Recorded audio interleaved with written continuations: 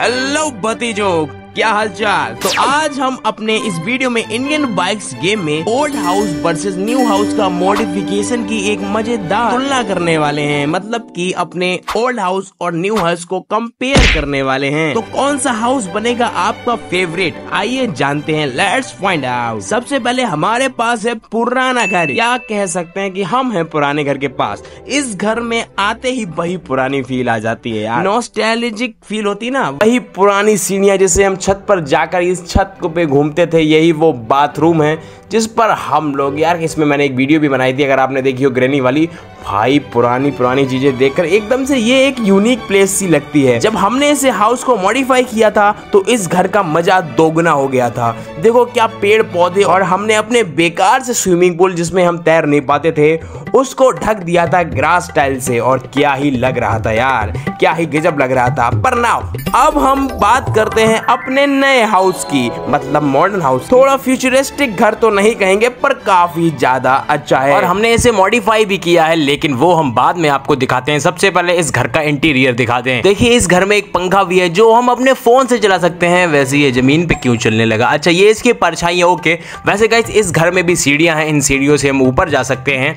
और यहाँ पर तो लगता है किसी ने जिम खोल दिया हो भाई। इतने जिम के इक्विपमेंट्स रखे हैं, जैसे कि ये शायद भागने वाला नहीं, ये कुछ और ही है यार। ये डम्बल नंबर उठाने वाला, वो अलग बात है, कुछ उठता नहीं है। बस इसके पास जाओ, हम इसके ऊपर चढ़ जाते हैं। ये इसमें अजीबोगरीब होता है। भाई देखे तो उस घर में दो दो वॉलकनी थी।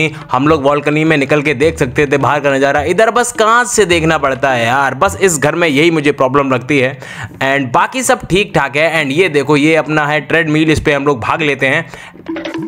अभी घर के बाहर वाला नज़ारा भी दिखा देते हैं आपको। यहाँ पर एक स्विमिंग पूल है जिसमें हम नहा भी सकते हैं। एंड एंड हमने यहाँ पर थोड़ी मॉडिफिकेशन भी कर रखी है। हम वो भी आपको दिखा देंगे। एंड उससे पहले मैं आपको बता दूँ हमने मॉडिफिकेशन में बस थोड़े से पेड़ ही लगाए क्योंकि इस घर में ज़्यादा मॉडिफिकेशन की ज़रूरत ही नहीं पड़ी। देखिए मैंने इस तरफ़ भी पेड़ लगाए हैं। एंड अभी मैं आपको एक चीज़ और दिखाता हूँ। भाई इस घर के स्विमिंग पूल का कहना ही क्या? इस स्विमिंग पूल में हम तो नहा ही सकते हैं। हमारी गाड़ी भी नहा सकती है यार। वैसे मैं मज़ाक कर रहा था। हमने इस पूरे घर का चक्कर मार लिया। ये पूरा घर इतना ही बड़ा है।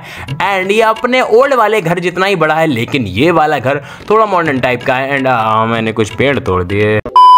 ये देखिए, ये भी हमने अपने स्विमिंग पूल में ऐड किया है। यहाँ से एकदम भागते हुए जाओ एंड सीधा जंप देखो, आप एकदम बीस स्विमिंग पूल में पहुँच चुके हो। ये भी मैंने बनाया है। एंड यहाँ के टहल गीले ना हो जाए, इसलिए मैंने ये ग्रास लगाई है कि पानी से निकलने के बाद आप इसके ऊपर टहल सकते हो। वैसे अभी फ़िलहाल तो मॉडिफिकेशन की इस घर में ज़्यादा ज़रूरत नहीं पड़ी। अभी इसको और मॉडिफाई करेंगे इन फ्यूचर तो भतीजो एंड में बस मैं यही कहूँगा कि कोई नया बंदा भले ही इस घर को उस घर से अच्छा बताए, जो कि यार है भी, लेकिन जितने पुराने पुराने गेमर्स हैं ना, उन्हें ये घर अपनाने में थोड़ा टाइम लगेगा। तो आपको कौन सा घर पसंद आया? पुराना घर नॉस्टेलिजिक फील वाला, या ये नया घर, एकदम न्यू इनोवेशन वाला? कमेंट करके बताओ। Bye bye